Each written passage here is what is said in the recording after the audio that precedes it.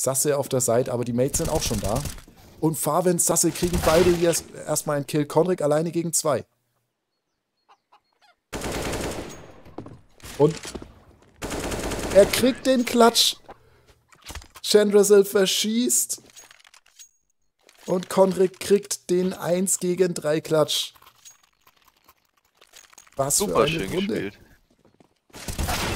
Das schauen wir uns nochmal an. Konrik erstmal mit dem direkten Refract.